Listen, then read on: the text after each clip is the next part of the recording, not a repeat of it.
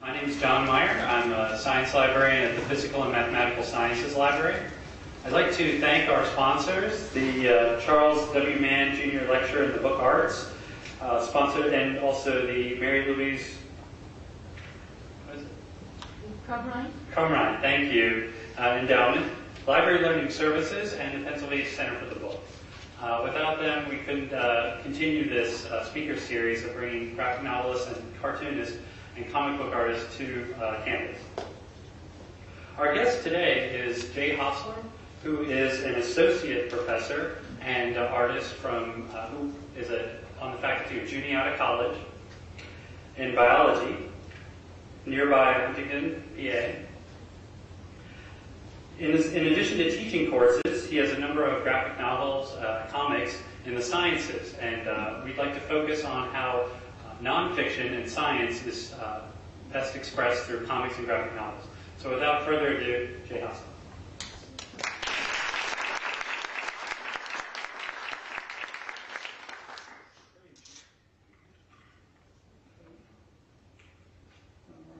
Can you hear me okay? Oh, that's too bad. I have to listen. Um, all right. So do we have got blank screen? Ta-da. Okay. Well, thank you for coming. Um, I'm going to talk today um, a little bit about my work, um, just to give you a little, a little more background. Uh, my training is as a biologist. Uh, I was trained in my graduate work at the University of Notre Dame, which is faring just a little bit worse than Pennsylvania right now, uh, football-wise. And um, and I was trained as a physiologist. And in my postdoctoral work, uh, I moved into working in behavior and ecology. Um, uh, simultaneously, sort of in parallel, as we'll talk about a little bit later, I was doing cartoons for the student newspapers. So the DePauw newspaper and the, the, the Notre Dame newspaper. Um, and those, for a long time, were parallel pursuits that didn't really link up too tightly until relatively late in the game, which is where we're at right now. Um, so I'm going to start. The big title of the, uh, of the talk is Natural Selections. It's a reference, obviously, to Darwin's theory of natural selection. Um, and I, would like to talk a little bit about why, number one, um, I do this, why I'm interested in doing this, and why I think that comics are profoundly powerful mediums to convey these ideas. Um, since I was a little kid, I was, I was crazy about dinosaurs. And I, I, don't know if, if any of you have anything in your life that inspires um, a, a, real sense of wonder. Uh, my kids do that for me now. Um, it was sort of with them at the American Museum of Natural History looking up at, at, at a bunch of fossils. But I realized the same feeling I felt for my kids, I felt for these extinct beasts, which I haven't told them yet. uh, we'll, we'll hold off on that for a while. Since I was a kid, I can remember going to museums and begging for the camera. I wanted the camera, and I desperately took pictures. When we went to this, I asked my wife, see, I'm not really allowed to take pictures. They're usually never very good. But she's like, okay. And so I was trying to get all these angles. And I realized as I got the prints back, none of them captured what I wanted. And what I wanted to capture was this sense, the sense of magnitude. And I thought, my head, this sense of magnitude was this physical thing. When in reality, what it was, was an internal thing. When I see these things, I feel as if there's a balloon inside my chest cavity, swelling. I see these things, I'm filled with this feeling, and I realize that is what I want to capture on film. I'm desperate to capture so that I can hold on to it. And when I and I was always the kid who went to the museum. I wanted to have a, a toy dinosaur and a dinosaur book and a dinosaur poster. I wanted to have every little bit and piece I could sort of cobble together these physical artifacts that would help me hold on to that feeling. But it was never really the same as actually seeing these things. This is what motivates me. Um, I create art for science. Um, there's a great quote on the environment and species loss, extinction by Stephen Jay Gould, that essentially ends, we will not fight to save what we don't love. right? I've worked with honeybees my whole life. This is a, I, this is a creature, a story from my. My advisor was this grand old German professor. He worked with Karl von Frisch in Germany, the guy that figured out honeybee waggle dance, right? And Harold would always talk his lunch. He would talk like this. And we had we had this uh, parent uh, teacher weekend at Notre Dame, and you know the parents were trooping through, and um, he said, "Jay, I need you to set up a bee with an electrode in the muscle so we can show them action potentials. These are pulses of electricity that convey information." Right? So I set this all up, and I was sitting there, you know, attentive little graduate student. As Harold stood, was the grand master of the tour. And then, as generally tends to happen, there's always that one um, doctor father in the group who wants to show everybody just how silly this all is. You know, and he asks the question, well, why do you work on? You know, and my advisor kind of did this, and then he looked at me and says, Jay, man's a bee. And, you know, you have to understand, I spent, I spent three hours setting this thing up, you know, getting just right, getting that. I mean, I've got one electrode into a single cell. I'm watching this. Because I knew exactly what it was going to do. I took the bee, handed it to him. He goes, This is why we work on bees. Because you don't care that I did that. And this is what we're facing. People don't care if you step on a bee, right? But in just these last 12 months, we've suddenly discovered, wow, a world without bees could be catastrophic for us. Right? so that's, that's where the quote comes from. Uh, we will not fight. And I, I feel the sense that uh, we are, in general, disconnected from nature. Uh, lots of conservation biologists call this the human exception model. Yeah, that's nature, and then there's us right? We're not really a part of that. It's kind of messy. Besides, we don't have cars, right? Um, there are really two, within this category, there are really two things that I'm interested in doing. The first is attempting to share that wonder. Now, there are lots and lots of writers and artists who write about the human condition, right?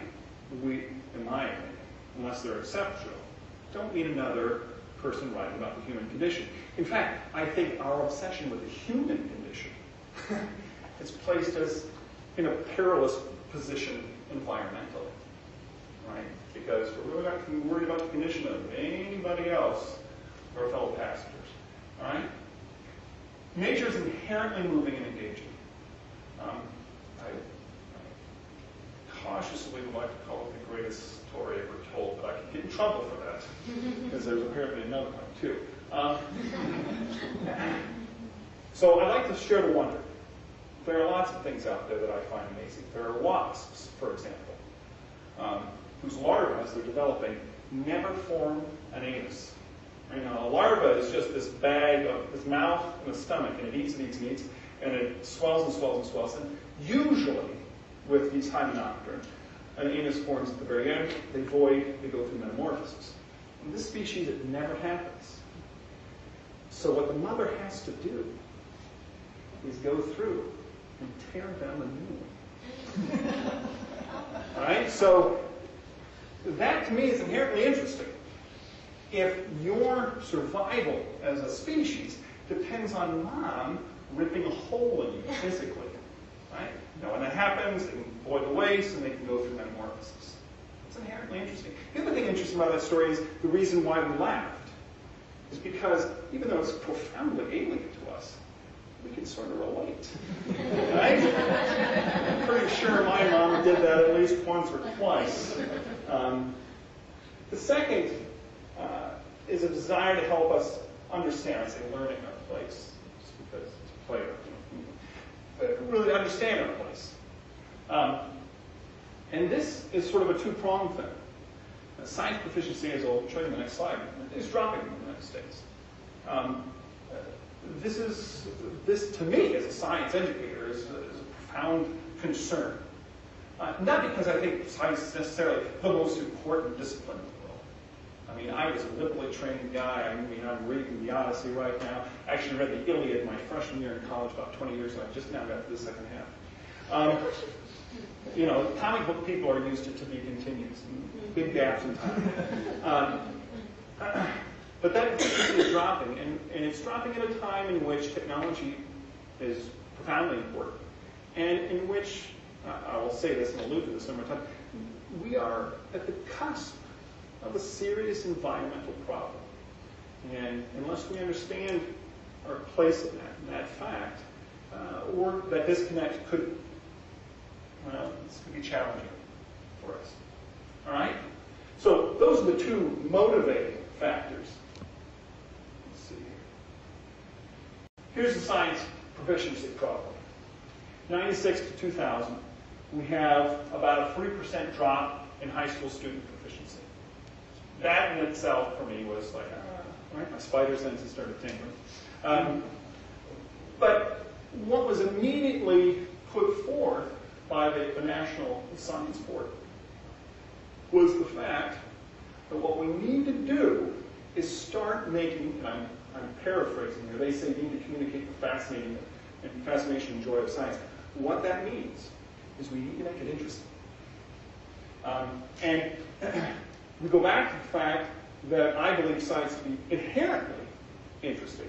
What that means is the people standing between the student and science need to make it interesting. Now, the truth is, it's not just the instructor. The student has to come a little way. However, we are in a situation, 18%, one out of five, um, appreciate or value the process of science.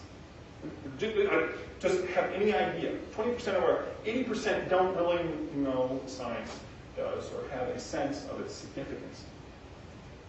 That to me says we have to take some sort of new novel approaches. And I believe one of those approaches can be used in comics. Um,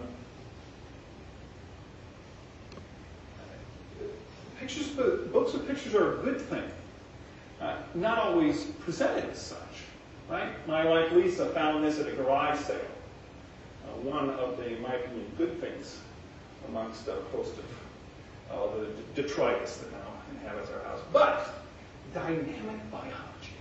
Dun, dun, dun. Two pictures, right? There's two pictures. One is of a bog. I tried to scan it, but it just comes off with this kind of blackish smear. Right? And it's bog from a distance. It's not like a there's a close up of an animal in a bog. It's you know, a squint and maybe it's a bog or a mountain. I don't know. Right? So uh, it's not really dynamic. Again, the content here is very interesting, but this is the, the challenge here is not to interest me. Because I can sit down with a book without pictures and be fascinated. That's not the issue. The issue is how do I fascinate you, or how do I fascinate the kid? Especially kids who've already decided that science is too hard, or not interesting, or boring. Right? So there's the next thing. It's not just that proficiency is down, it's that hostility is up. Right? I, I teach a non-majors uh, sensory biology class at Juniata. Very bright kids. I have these kids in the front and I can see it. I can see the terror. I can see this one, I can still picture um, a woman that was in my class. She stood with her hands flat on the desk as if at some moment I was going to transform into Dr. Jekyll. Right? Pick her up and shake her and turn around, and point at her, and look, she doesn't understand science. Right? Just talk still. She's, she's stayed out of her mind. Not because of anything, but because of the content. And I know that because I asked her later, how did you feel that first day? I was scared. Right? So, proficiency down, hostility up. Right? So it's not just getting them interested. It's getting over that hump of, I hate this. Right? Now what you see is when you look at when you look at science textbooks now, biology textbooks now, you make these assessments. I make assessments, I'll, I'll be honest. I mean, the, the, biology textbook that we use is by Freeman. The first thing, the primary thing that made me choose it was the fact that it was experimentally based. Right? So I thought that was really important. Number two, of all the ones I looked at, my, my favorite figures. Right? The figures, as we're going to see, these are the avenues into the brain. Um, now, comics in the classroom. So we'll skip just a little bit here. Um, so made, I've made a point here for books with pictures, but our comics really a good idea. Um, we were talking earlier about the fact that the prior to the 1950s, there was there was essentially a um, McCarthy era, a mini McCarthy era for comics, uh, in which um, the industry was brought into sharp focus nationally, and as a consequence, adopted um, a self-censorship program that turned a lot of what they do into paddle. All right. Um, prior to that, uh, you could have uh, the kids kids from the range of 6 to 11, 95% of men were reading, 94, 93% of women were reading. Girls, I guess they're girls, though. and boys. So, but this is the stat, 1945, is my favorite. People between, men and women between 18 and 30, you had something like 20% of men still reading comics, and you had 18% of women now that's, you, you could sort of, within our own current social context, say, okay, kids, uh, girls, 6 to 11, or boys, 6 to 11. But, but women, right, 18 to 30, that's a grown person. What are they thinking, right? It's a, I got an email from a friend who sent me this Yahoo News that a couple years ago, uh, some new Japanese senators, senators um, in Parliament got chastised by the Prime Minister for reading comics in session.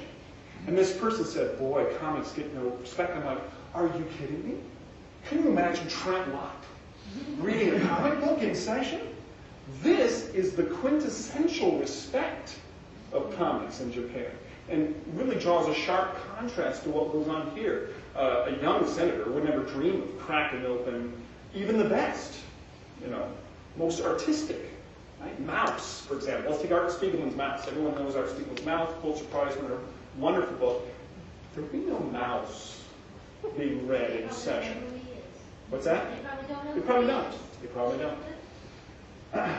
So back in the day, um, we see some interesting um, social science experiments and papers. So we've got Hutchinson papers in which he followed a, a, young teacher, a woman who incorporated comics into her class. And her, she set up a, an entire week based around a couple comic stories. Right? So kids were going to read it, and then they were going to do homework. And she complained. Yeah, I'm assuming tongue in cheek here, she complained. That made the learning too easy. They all did the reading in the first day. What? I mean, this is unheard of. The reading was done, and then they remembered stuff, and they could do the homework. Right? Um, Sones in 44 showed a pretty nice uh, set of experiments in which you had text, straight text, compared, and a group of kids given straight text, another group of kids given the same information embodied in a comic. And those kids that got the comic, the visual component of it, remembered it significantly better than those that not. Another how, so you got motivating, these are motivating medium, they're a great visual medium, we'll talk about why visual is important. They're permanent. Now, I'm going to make the, the case for the fact that I think this is the most important aspect of comics, whether they're being used to educate or um, purely for um, self-edification you're reading, right? You're reading it for pleasure. The fact that they're permanent, that you control the pace, right? You essentially, as we're going to see, construct the movement. Um, and so what happens is this becomes a tremendously interactive medium. It becomes separated uh, from something like film, in which the high speed of the images, it's a series of images, but the high speed actually assembles motion and meaning for you. It's more passive. And this is something that Scott McCloud talks a great deal about in his book, Understanding Comics. The next thing that's important is that they're intermediary. In fact, my, my work right now, I'm an NSF grant, but I'm just finishing up the book, uh, that focuses on the intermediary nature of comics and how they can help introduce difficult concepts using these visual components and help ease students who are otherwise hostile or resistant in some way into this stuff. And the fact, the last is so popular. The truth is, I've worked at a number of papers, and I've gotten familiar with people who work at, uh, uh, you know, real papers, not just student papers. Editors generally don't like funny pages. Consumes space, it's expensive. Why doesn't that ever go away? It's because for some bizarre reason we do not want to give up our Hi and Lois, right? Our blondie. We really want to see Dagwood struggle with that sandwich one more time, right? So they're very popular, uh, whether they're in vogue, out of vogue, competing with a Game Boy or a video game or whatever. You hand somebody a comic, there's going to be some connection, some interest there. Let's talk about the visual aspect of this, especially in terms of science. I would argue that virtually every branch of science has depended upon visualizations to convey ideas to the general public, and in some cases, like Feynman diagrams in the middle, to actually convey those ideas to colleagues. Right? Uh, when you talk about visual versus the written word, you're really talking about the difference between perceived and received information. So over here I have a wheel or a bar or a, with a series of projections on the edges. Then you could read that, and once you got to the end, you could work on it for a second. That little gerbil, the runs wheel, and you might be able to spit out cog. Or I could show you that picture. And you immediately know it's a cog. Uh, in one case, you are perceiving the information, in the other, you are receiving. I could talk to you about Darwin's theory of natural selection, how the idea is, well, you have an animal that starts here, and then two species split, and so on and so forth. Or he could draw you a tree. And you could suddenly see this amazing idea of radiation, the connection with the idea of a family tree. Right? This is the first one he drew. First tree he drew in one of his training, I think it was notebook, um, notebook D, as he was working on uh, his theory of natural selection. This is a Feynman diagram um, that he whipped up. I don't know the history of that that well, but I do know that it, it became um, a method for making calculations that were otherwise relatively difficult to do, to visualize certain things. And then there's William Smith's map of the strata of England. And this idea that you had not just different layers of rock, but uniform relationships those layers of rocks. And this became a fundamental idea when it started, we started to get into ideas of the Earth being old and uniformly and slowly made. Right? By the way, if you have questions as I'm going through or want to cry BS on anything that I say, um, feel free to stop me. Um, okay, concepts of permanence and closure. or subtitle, an animated feature is not the goal. I I was recently a participant in a, um, in a sustainability uh, day-long seminar, and I got to see and meet a woman named Christina Mittermeier, who is a bigwig in the International League, League of Conservation Photographers. She gave this wonderful talk. Um, this is one of the photos. These are the, the Kayapo chiefs. Uh, they're a group uh, there's a there's a there's a large Kayapo area right in the middle of Brazil, and there's about 6,000 Kayapo, and they live in in clustered villages of anywhere around 200 individuals. They are the front line against development, uh, and so um, you have the Brazilian government and farmers trying to encroach. And I think she said one of the Kayapo chiefs once said there have been 45 killed in this conflict between the Kayapo and the farmers. None of them were Kayapo. Um, these guys actually got together, right, and marched in Brazil on the Brazilian government and prevented the creation of a dam, hydroelectric dam that would have wiped out huge expanse of their territory. So, so, a little bit about the background. She showed these pictures. And these are pictures that are evocative and beautiful, right? And again, there was a person who asked a question. This person said, wow, these are really good. You should make a documentary.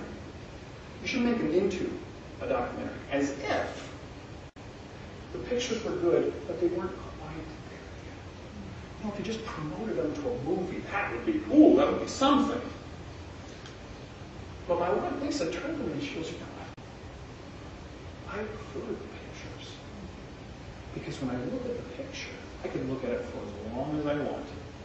I can soak in the entire thing. So I got a chimp, picture of a chimp sitting there looking at me and look right in its eyes. I can look at its nose for a while. In film, it's gone. You can't, you're not interactive. You can't, I mean, unless you get it on DVD, you can rewind, but I have complete control with that picture. That's the first thing. The other thing is, as I look at that picture, I can tell a story. And that ability to construct a story makes a connection with this chimp who I'll never see in my life. Right? It helps me connect to that element of the natural world in a way that I couldn't if it was just zipping by at 25 frames per second. now, what does that have to do with comics? Well, this was sort of like an aha moment for me. It was really recent. It was just last Thursday. I was struggling to figure out what it is about science comics that I intuitively, my gut felt was significant and important. Scott McCloud talks about the fact that the gutter, that's the little space between panels, the gutter, in the gutter, human imagination takes two separate ideas, images, and transforms them into a single idea. So here we on the, on the left, we have meiosis. Right? We have one, two, three, four, five panels. Meiosis is the process by which um, gametic cells are made, so eggs and sperm. It's where we sort out our genes, separate them, sort them out again. Right? Well, you're not really looking at a meiotic event. You're really not even looking at two cells dividing. You're looking at a circle up there, another circle, slightly different doodads on the inside, a third circle, again the doodads have changed a tear bit. Now means I have two circles. Where the hell did that come from? Right? And then look, four. Now, without context, or that you connecting the dots, that's just a string of symbols. However, because it's placed within a certain context, you connect the dots. Now, suddenly, if you look at it long enough, you know exactly what's happening. The genes are aligning, or the chromosomes are aligning in a certain way. They get separated, pinch off the cell, and you do it again. You have, with comics, the ability to lay out a process, right? physiological event of some sort. That in and of itself is pretty interesting. Science does that all the time. Science uses comics all the time. But what's important, and anyone who does any education knows, that it's not enough to stand in front of the class and say, X goes to Y, goes to Z, Bueller, Bueller, right? what you have to do, if you want it to stick, you have to get the kids, or whoever you're trying to reach, to do it themselves. And when you look at a figure like this, you got to do it yourself. You got to sit there and say, okay, what's happening between one and two? Okay, okay, I can see that. Okay, now two and three. And in that gutter, as you put those ideas together, you're also constructing a process. And to me, that is the really profoundly powerful aspect of comics, especially in terms of. Um, so, why comics about evolution and nature? Well, the first, I've talked about nature. It's, as I said, to me, inherently interesting. Why evolution? Well, this is a this is a public acceptance of evolution in 34 countries. It was run in 2005. Can you find us? we would be the country between Cyprus and Turkey. Right?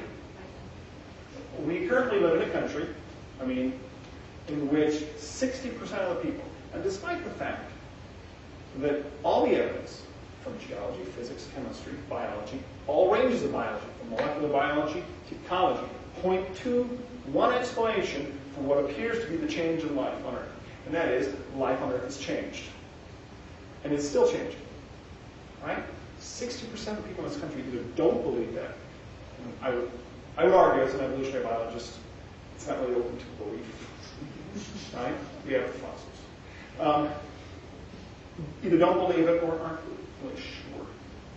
And the truth is that this is really not a debate about evidence. And there's no amount of evidence that I can provide to change anyone's mind. However, um, this is the situation. And so my approach, as not being a very confrontational person, is the belief that, well, I'm at least going to explain the basics. Right? There's the first problem with the argument. First problem with the argument is that, um, in my opinion, the other side, and they have opinions of me, and they can take their approaches in my direction, but I am a scientist, so I'm, is that you really don't understand what I'm talking about. And so if I outline it, at least you can make your arguments, and maybe you'll still disagree with me, but at least you'll understand what I'm saying. Right? It's clear fashion.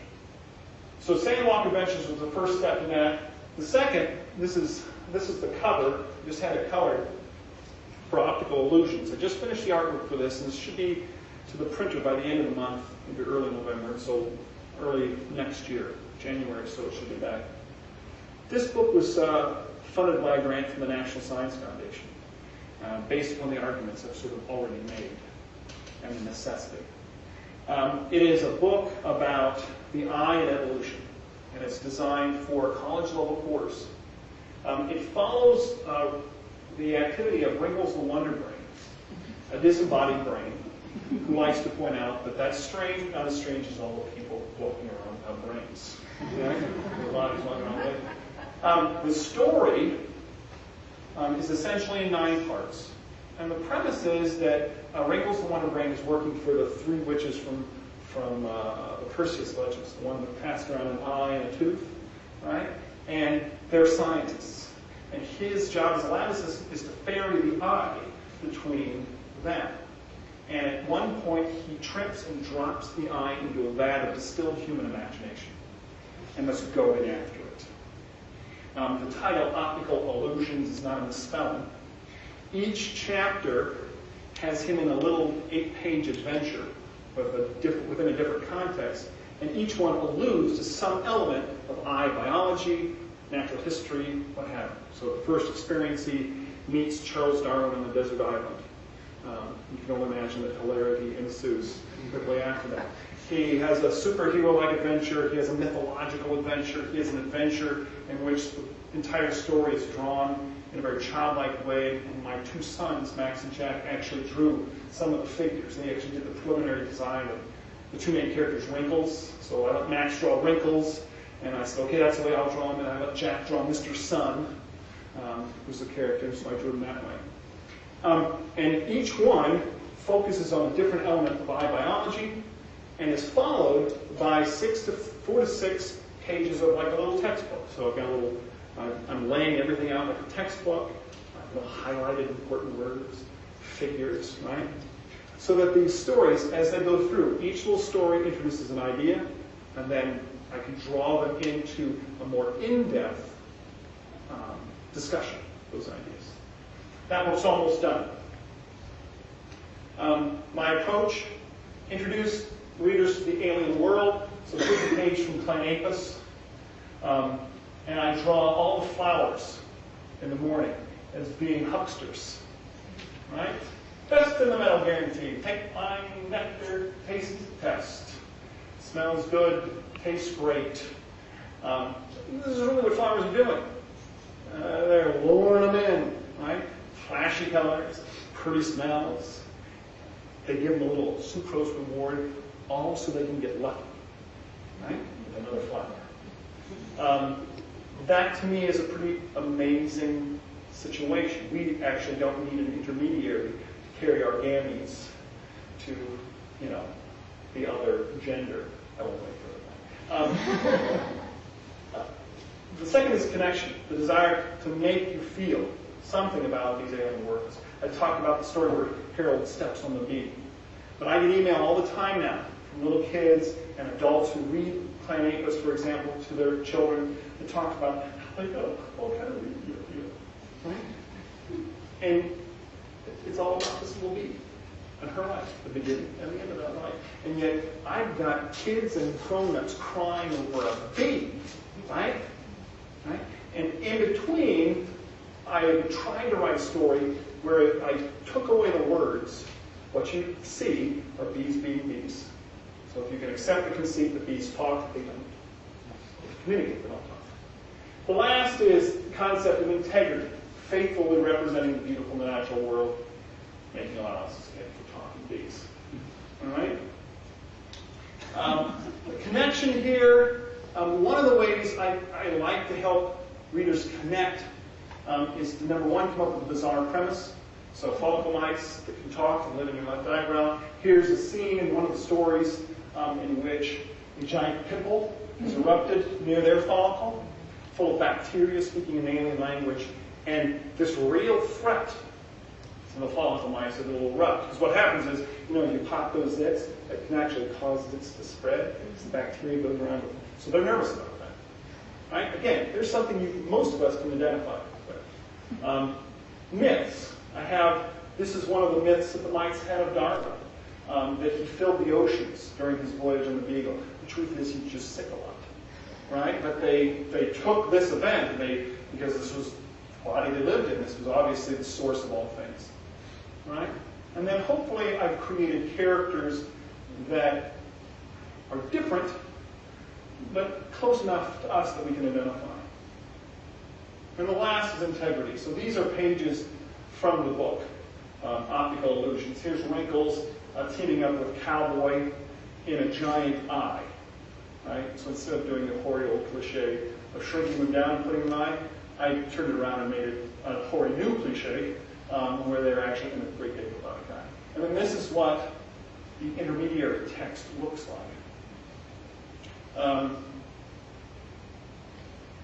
so I'm going to stop talking there. Um, because when both of these boys were four independently, they both said both of these things. Your talking makes me tired, and you're talking bothers me. So um, I'm going to take that. Now, what I've done, and I know, I know guys going to talk, and then we're going to have some time for other stuff, is I've sort of thrown out the why.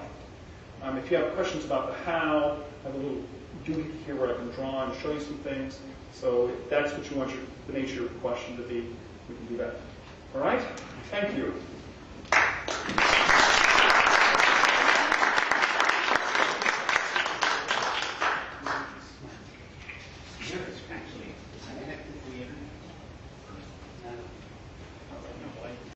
So uh, I'd like to introduce uh, a member of our own Penn State uh, family here. Uh, Guy Barbato is uh, in the poultry department at the College of Agriculture. And uh, he works in genetics and has made connections with Jay and has experience with his books. And he's going to talk a little more about the university and higher education and commons. How many scientists? I don't You can turn on this. think they'll have trouble hearing me. Are they really? Can, can you guys hear me? These things drive me crazy. Thank you. I'll leave it here and let it feed back. Uh, I have a, uh, I have a very strange connection to all this. I was going to try to hook up to the internet real quickly uh, because I love the first slide of the dinosaur.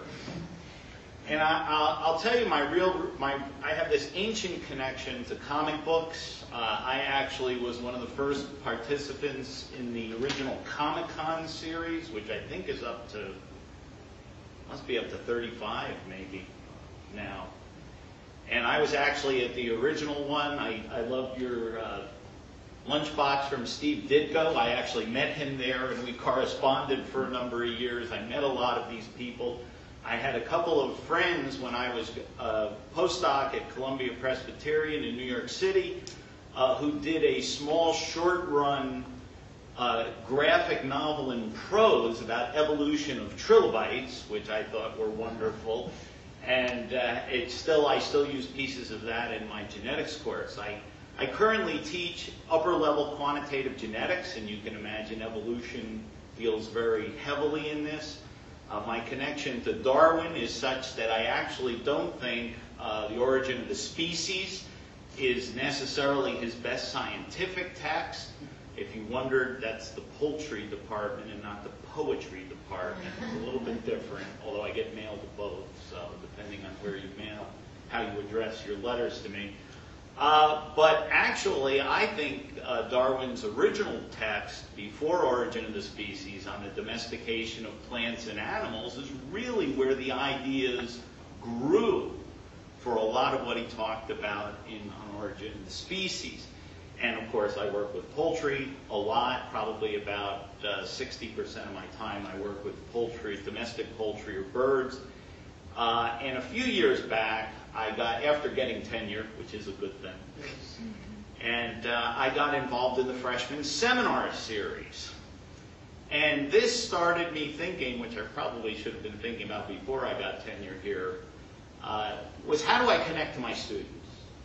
I was teaching quantitative genetics, uh, doing the best I know how in traditional fashion, and my registration and my number of students were declining very rapidly, much like the graph you saw online.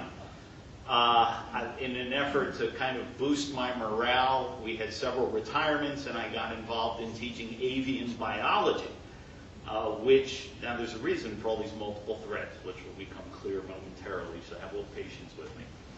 Uh, which got me thinking more broadly uh, about biology in general, and also it was a lower level course, and again, the need to connect. Somewhere along the line, and I forget exactly where it happened, but I found out about some of Jay's comics, and initially, we always run these contests. I probably have sent more freshman students to the library on library scavenger hunts over the past 15 years than anyone else, except possibly Barb Wade in the U.S., for those of you who know Barb. And uh, we always look for prizes. And I always hate prizes that say, join the College of Agricultural Sciences. You know, they, these kids don't wear them. They look at them and think, yeah, great, good. They can't even sell it for an ice cream cone. So uh, one day I found out about Jay's books, and I bought a case of his books on the Sandwalk Adventures because I thought this would make an awesome prize. They were comic books. They were colorful. People think they were cool. And 10 of the students decided to major in biology. They were members of the Division of Undergraduate Studies, and 10 said, I'm going to major in biology. This is cool stuff. I got to thinking about it, and I thought, hey, this is another way I can help my upper level students. And in fact, I use sections of the Sandwalk Adventures, especially those dealing with natural selection, prior to my lectures on artificial selection. Because artificial selection is natural selection. It's just, and I always portray myself as Darwin because I'm the one making the decisions as to who breeds and who doesn't breed. But fundamentally, the genetic mechanisms are all the same. And I like to think as a result of some of this, uh, you know, I've had a real increase in my enrollment in classes, and I start to get people who are actually interested and have gone on to grad school and started thinking about genetics and thinking about it. And I think it really relates. I thought you expressed it wonderfully. It, it relates this connection of the excitement and the enthusiasm that I have that previously was unable to communicate effectively to the students. And I, am just th- thrilled for that. And it really has given me an entry in my courses, and it, it's been a lot of fun. Now, I want you to know I can't draw a straight line uh, with my computer. So I have real big issues in terms of being an artist. But I like to think I'm a creative kind of guy. And the minute you accept this idea of using creativity to reach your students, no matter what topical material uh, you're involved with, uh, you can do it. Uh, and I have an interesting, I had an interesting experience. In fact, just gave a talk about how to get sophomores involved in research labs and how to get them to learn information in the classroom. How do you engage sophomores? And this was something with the Division of Undergraduate Studies Advisor Conference about a week ago. And, uh, and again, this kind of follows my progression of saying, okay, we need to get more creative in the classroom. So how, I, I can't do cartoons, beyond, totally beyond me, as much as I love them dearly. I even married an artist in hopes of trying to get somebody to teach me something. And unfortunately, I'm hopeless case, but luckily she stuck with me anyway. Uh, but here, here's what I did. I've been teaching avian biology. The worst thing anybody has ever done in the universe when it comes to biology, what's the worst course? You guys had biology probably in college. The worst ever thing you had to learn is anatomy. You got to learn all the pieces and the parts and the thises and the that's and the muscles have insertion points and origins and they all look alike. How would you ever be able to pick one up and know what in the world it was? Everybody hates it. I have left to me in my laboratory this wonderful skeleton. We call her Henrietta. She's about that tall. And it's the skeleton of a laying hen from 1953. And she's absolutely a little thin, but lovely. And I, one day I started looking at her and I started thinking, it looks like the dinosaur at the Natural Museum, Museum of Natural History, rather. And I thought, why not, in the process of having these kids begin to study avian biology anatomy, why not take the bones from Henrietta and reassemble them into their favorite dinosaur? So, well, now you need bones. So I had to teach them how to make chicken soup so that they knew how to get bones. so we now compare a variety of chicken soup recipes in class. We then have to learn all the names of the bones so we know which bones go where. And then, of course, they find that the actual bones from the bird don't really make good dinosaur bones in certain parts of the anatomy. They don't match up. So I allow them to cheat and use like double sets of leg bones and things. But this leads us very naturally in the context of the course to start talking about, well, then what is the relationship between reptiles and birds? What is the relationship? How did they get from here to there? How do the changes occur? I'm also cultivating my own group of genetic students as a result of this teaching assignment. But the point is, it's all in the same context. And so uh, I've had a lot of fun. I don't have any really great stuff to say other than uh, this is an opportunity to thank everybody for, uh, thank Jay really for getting me going on this path. And if you guys have any questions or anything, We'll be right- I think we're, ask Jay, I don't know much. We're going to sit down right here and uh, try to answer some of these questions. You can look through them first and answer them at your record. I'd just like to also say uh, that graphic novels in general and uh, comics that are reprinted in book form and trade paperback account for $330 million in the publishing world last year, and it's growing. Uh, and so it's become a larger portion of the publishing market, a larger portion of the readership that you may have seen or you may have experienced uh, in bookstores. So it's a much more mainstream than in the past, and that's influencing a lot of the acceptance we're seeing in higher education. Um, so we have a few questions. Um, you can just read them and answer. Okay, so I have here one. Do didactic or pedagogic goals ever threaten direct power of comics for kids? And the answer to that is uh, yes. Um, I call it the Mark Trail syndrome. All right, you ever read Mark Trail? Oh, sweet mother of mercy. this is a sparrow. A sparrow. You know, you can almost uh, you can almost hear Monty Python skit. You know, the larch. Right, the larch. And then you hear the request for Ferris Bueller in the background. Um, you know, what a lot of people don't get, and what you see this, you see oftentimes um, agencies using comics and saying, you know what, we'll do a comic because kids love comics. Well, the problem is kids like good comics. Kids do not like crappy comics.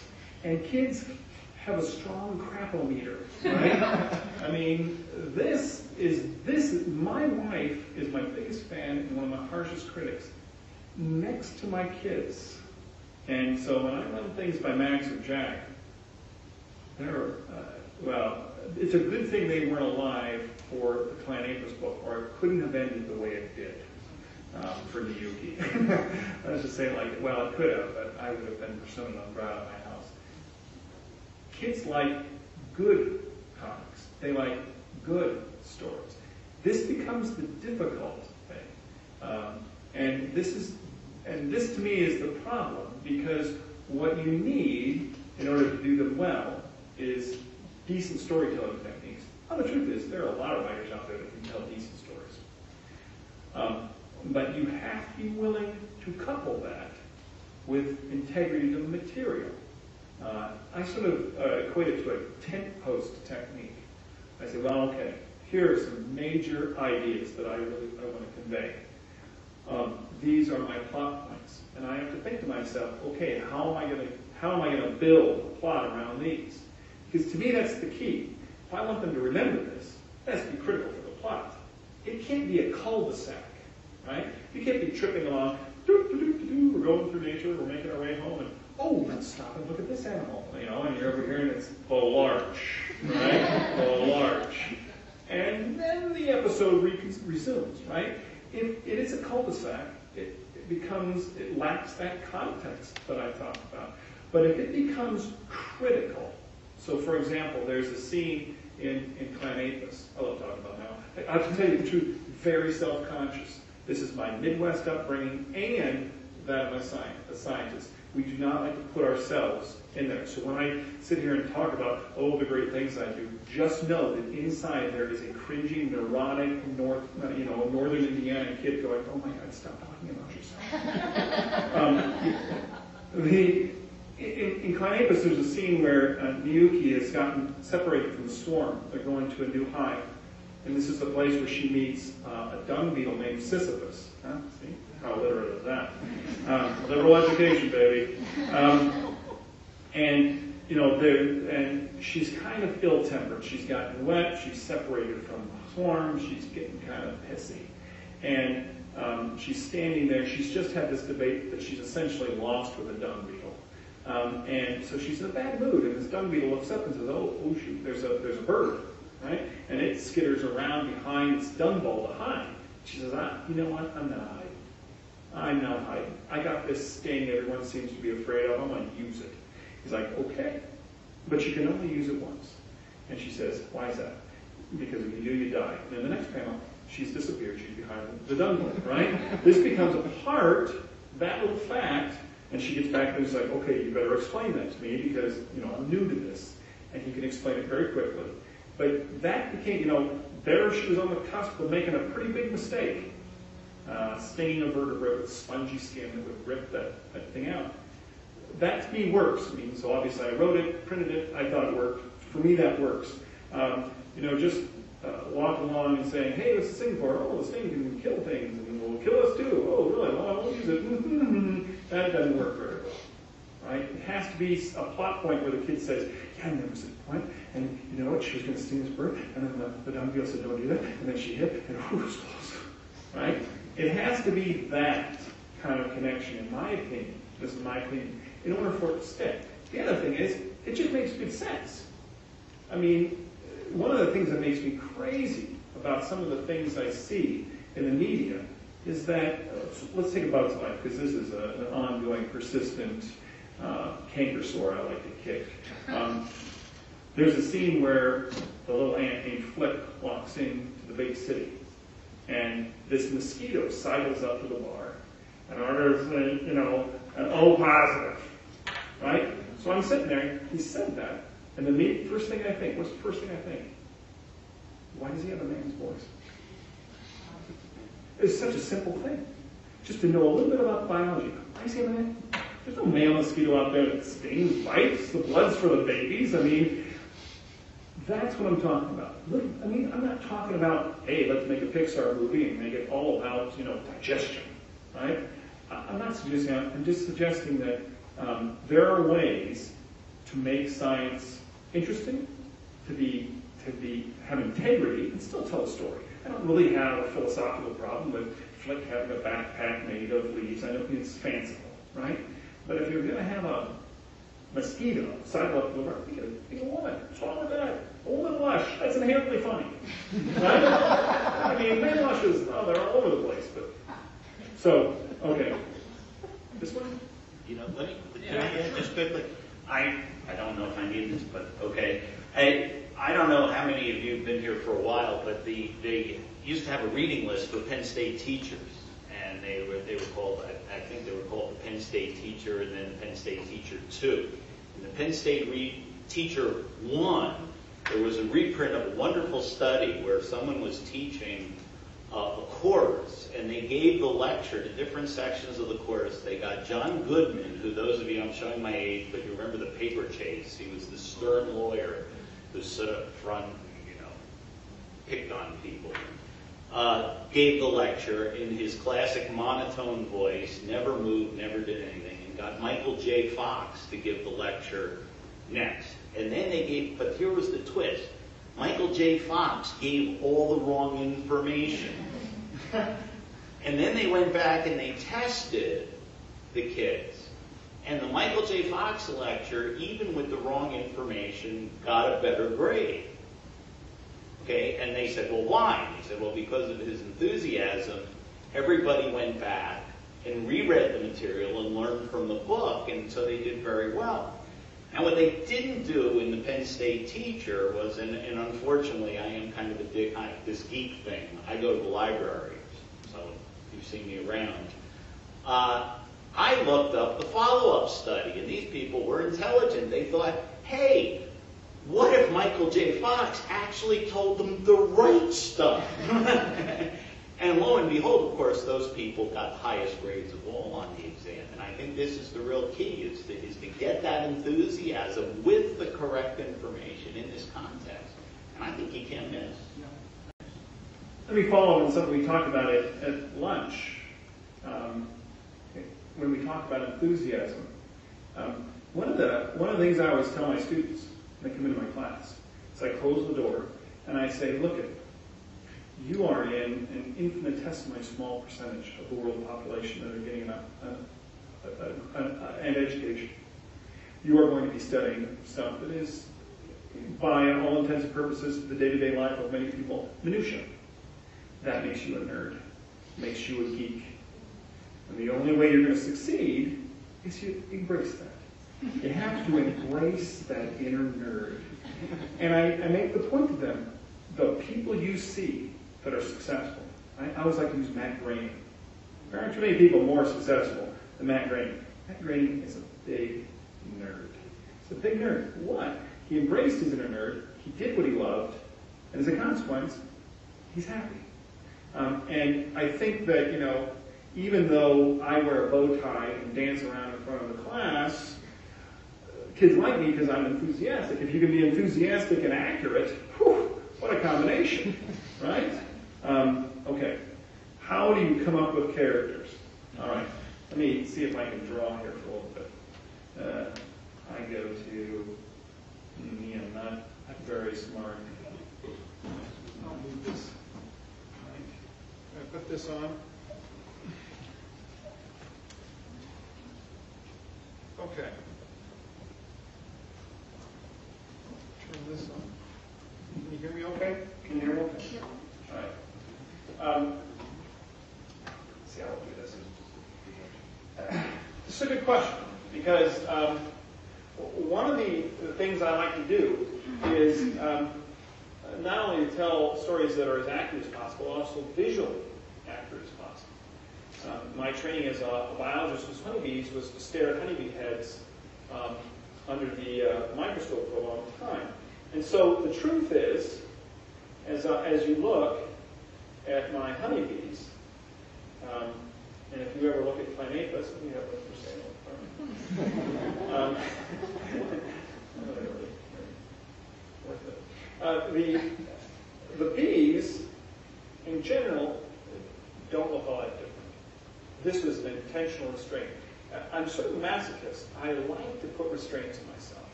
All right? It's more of a challenge. Could have I could have drawn every single bee slightly different. I could have given Nyuki a punk haircut, right? Like a, a little because they all they have these hair. You see like a little hair flopping down over her eye, right? There was a period, right, the early stages where I thought, that, God, that's what I have to do, right? I decided that there are other ways that were founded in nature that I could do this. So this is Nyuki. Is she up there? That's what her head looks like. Started drawing bees. Now, what's another way of distinguishing? Uh, she has a sister named Dvora. And the truth is, it's the same head. Right? but here's an interesting thing about insects, a little bit different than us. I could pull an insect's wing off. I could pull an inside, I shouldn't say wing, pull, it's Lego, right? And they'll do just fine. You can catch bees out in nature, five legs, four legs, right? Um, they encounter, it's a really nice feature, it's breakaway leg thing when you encounter birds, birds. Um, you know, a little beak gets your leg, you're gone anyway, right?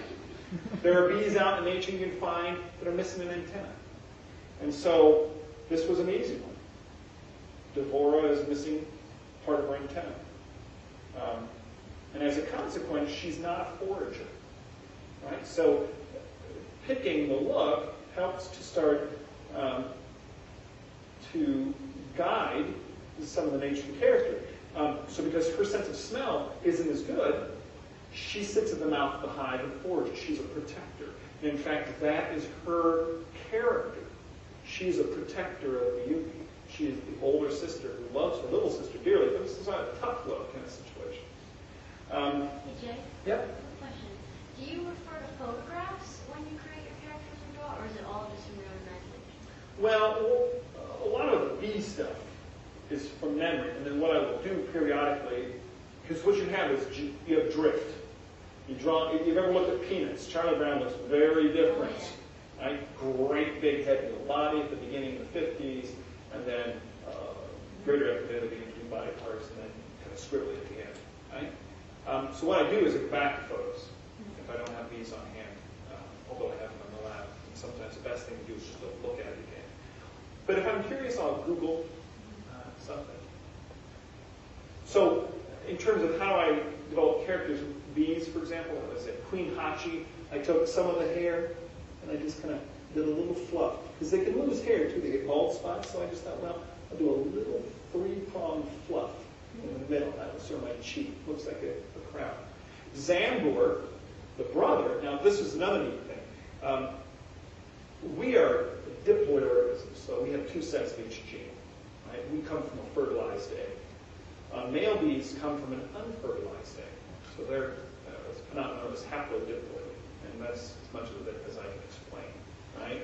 Um, but phys- physically look very different. So whereas um, honeybees have this, you know, these eyes that are relatively on the side, a drone, which is what the male is called, have these enormous eyes, a relatively small mouth parts, right? So their eyes are like this. So I created, uh, I created Zambor.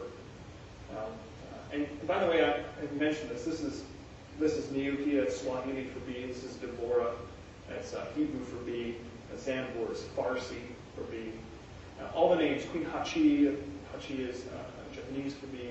Um, I can't remember. There's a Who's a hot-tempered uh, uh, Venus. Uh, she was hot-tempered. Not all Spanish-speaking people are hot-tempered. That's not really what I meant. She just happens to be the, the name that she got. But so the source of the names were from, from around the world. But Zambor um, then became this big-eyed, big-headed guy. Um, so there are ways of drawing contrast, and what I find is I start visually. I start visually with the character, with a general sort of architecture for what I want them to be. Um, the mites, the mites really look like mites look, physiologically. They do not have uvula. Mites do not have uvulas. Uh, so when I draw a mite, uh, that looks like, where am I? Not here, not here. Uh, so um, mites have eight limbs, and the truth is, they are absolutely adorable. They really are. They have these long abdomens, right? They have these little pudgy fingers in these pudgy legs. Um, they're virtually transparent. They have these annulations along their leg. Like another now, they also do not have a butt. Now, this is the interesting thing about butt jokes. Now, I know I keep coming back. It sounds so puerile and banal, but the truth is, I, you can hit him with all this highbrow sort of science stuff, and throw a little butt joke every now and while. Ooh, boy, that anchors things and keeps them going, man. Where's the next butt joke? It's coming. It's coming. Um, mites are interesting in the fact that they never form an anus. Um, what they do is they sit in your follicles, and they have mouth parts that can pierce cells, and they draw fluid directly off the cells. So it's all pre-digested, right? So, And so they don't generate a lot of waste. What they do generate crystallizes in their in this long abdomen. And when they have too much, they die. So I took this form, it's, it's a pretty accurate form, and I they, they do not have eyes. Okay, so this was a cheat. What they do have are these two little little antennal bumps, and every time you take a picture of them, they kind of look like that. So I placed them where those, those bumps are. And then they normally have very little mouths, but I gave them big mouths like that and uvulas, which they do not have. All right, so there is a there is definitely a conceit uh, that, that comes into play. Um, so I, that's some characters. Wrinkles the Wonder Brain is just sort of an absurd, pure brain seeking knowledge uh, in that sort of way. So oftentimes it comes from the visual first. So the question is, um, do comics require more attention from the reader or less attention? And then would they appeal to people with attention deficit disorder? That's a good question. Um, I think you have to be more attentive. Now, now, I'm saying this without any data to support that. That's the scientist in me who's saying, yeah. I'm also saying that because the grant that we have um, the, that is funding the Optical Allusions book, the biggest part of that grant is money to test this book in the classroom. So we are going to be testing it um, in a number of host classrooms across the nation to see if it's effective at drawing people in. And as we do that, the attention deficit disorder question is actually a really good one because one of the things that we'll be surveying is for people with that problem and their response to them. Um, and so this is really going to be, this book is very much a prototype pilot. The test is a prototype pilot. I'm hoping that the results are somewhat favorable, obviously. I mean, uh, it doesn't make me a, a biased science, a passionate science. Um, such that I can write a grant, do a full-scale book, and then uh, assess it more um, comprehensively. Um, so, that, so the answer to your question is, I don't know about attention deficit. I have I have anecdotal evidence from parents of attention deficit disorder kids um, who say this is the one thing they'll read. Right? So I have a colleague who teaches developmental biology, his son Patrick, very bright kid, got ADHD, um, you know, has trouble getting through crime and punishment, but Randy says he'll sit and read comic hands him. And why is that? I don't know. I, I think the visual component has to play some sort of role in that. Um, in terms of slowing down, speeding up, and that's always going to be the case, I, it does slow things down. Um, if you, if it's incumbent upon you to look at the image, so read, look at the image, read, look at the image, read, look at the image, it's going to go a little bit slower um, because you're going to be cobbling things together. I would argue, right, at least from a pedagogical standpoint, that's exactly what I want you to do. I don't want you to read it too fast. If you read it too fast, my history tells me you're not retaining much of it. And that slower pace, when I say control the pace, it's not necessarily how fast you get through it. Um, ESL, um, English second language, uses use comics a lot because what happens is read and read and read. Ooh, I don't get that. I can go back. I'll read again. Oh, oh, you know, there is no, there is no, um, right, panels here. Um, as far as how you read it, boom, boom, ideally it's this, right? But there could be a lot of this and this. We did a, we've done some eye tracking experiments. So in addition to these and this, I have a line of work that we're, we're, we're, we're tracking the eyes of comic book readers. We showed them Charles Schulz strips. And the hypothesis uh, sprung out of a book I read called The Language of Comics, in which a writer says, silent comics take longer to read because the reader must spend more time with the image. I said, wow, that's a testable hypothesis. And so what we did was we showed people, uh, subjects, strips with, um, uh, with text and strips with no text. So, you know, Schulz would do oftentimes these silent strips where Snoopy slips or the ball is thrown, or something like that. The joke is completely physical. What we found was there's no difference. So there's always four panels. In the first two panels, There's no difference between the time spent with the image in the wordless, the time spent with the image in the text. There is, however, a difference once you get to three and four. And two things could have been happening there. There's more time spent with panel three and four in the silent. Two things could have happened. Could have been they, like, oh crap, the ending is coming, I've got to start paying attention. I look at number three, and I look at number four, and oh, I get the joke. Or they could go, bum, bum, bum, bum, what the hell, what the hell, what the hell, what the hell, what the hell, oh, right? Turns out that um, when you measure transitions between panels one and two, two and three, and three and four, one and two are the same, two and three are the same, and three and four shoot way up for the silent, or for the word wordless. I keep saying silent. I had my undergraduate look at in the conference.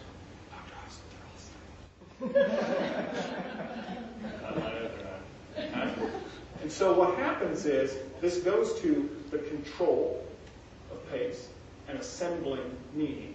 Right? One, two, three, four, three, four, three, four, three, four. Get the joke. If one poor student spends 17 minutes with a strip, not get it ever. So, but this student's eye was like ding, ding, ding, ding, ding. So I'm not. There was something else going on. Um, so when I say control of pace, I do think it is slower for readers, but I think that that control um, um, comes in how you assemble and where you go, whether you go back or go forward, which film you can't do. But again, unless you have a DVD player, you can rewind. What else? Anybody else have questions on the car? Yeah, we, we can take the question from Yep. How old were you when you created first comic and you still have that? That, that's, could you repeat the question for the How old was I when I created my first comic, and do I still have it? Um, this is an interesting question because I really didn't do comics. I did. I drew a lot of pictures. Um, when I was a kid, and you know, it breaks my heart. My kids not even remotely interested in dinosaurs. You know, passing fancy. Will humor daddy at the mm, Indianapolis Museum, uh, Children's Museum, looking at dinosaurs. But for the most part, we're looking at gizmos and gears and stuff like that. But now you can walk into Barnes Noble, and there are shelves of these lush, gorgeously illustrated, computer-generated, you know, beautiful books. I think I had two or three. My parents would get for me any book, you know, that they could. You know, two, three, four, five books, Spartan pictures. One, still have this one. One, the photos were dioramas, and was completely wrecked by the fact that I had purchased. They used these plastic dinosaurs that I had purchased just the day before in the basement of Woolworths, and they were hollow, cheap plastic. And here, what they did is they spray painted. For me, there were there were not enough dinosaur pictures, and so what I had to do was create my own. So this drew me. This is what drew me to draw. Um, uh, and if you're like really good drawing puns for kids, Harold, his magic crayon, he drew up his bed at the end. Oh man, the guy was brilliant. But um, so anyway, science sort of science, my interest in nature pulled me into drawing in the first place and constructing those things. My mother has a lot of those old dinosaurs. The very first pictures I do, did when I, when I was three, four, which my mom has framed for me. I drew my grandfather, who was a, a fry cook. I drew him as a scribbly guy with a hat, a truck, and was something else I can't remember. was. But it wasn't until I was sophomore in high school that I did my first comic strip, and that was Spaghetti Man. Um, and he had spaghetti powers, you know. So I like absurd superhero concepts. Um, and then really, and that was just something I did a couple times in study hall. And then it really wasn't until my sophomore year in college when um, my freshman year I had submitted a bunch of cartoons drawn on lined paper. And they said, well, they're good, but you have to redraw on white paper. And of course, I was arrogant ignoramus and said, people take those, or not at all. They said, well, not at all. And I'm like, okay. And then I came back my sophomore year, and the first paper came out. This cartoon is just awful. It's not funny. It's really poorly drawn. And I thought, well, at least I can draw better. I didn't know if I could be funny. Um, I'm sure there are a number of people who say they don't know if I can be funny either. But um, I can draw better. And then that, that was the first time that I really started doing cartoons my sophomore year, and I did miss a deadline through the next eight years. And we were talking about this at lunch. Those strips, awful, terrible. can't look at them, but they were great practice in storytelling. And what they really did as I was a graduate student was show me, you know, because I would get response. See, I thought they were awful. I think they're awful now. But the other graduates at the time thought, hey, they're really good, you know. Okay. The fan base, enough that's normal. The, um, the thing is, I, I realized is that I could make an impression. I could convey my ideas and put them in a story, I tell a joke. And so that all sort of informed my teaching eventually. And eventually, the idea of uh, putting the students together. Well, thank you all for coming. We're going to have a book signing, uh, so please stay a little bit, and uh, everyone give a round of applause for Jay.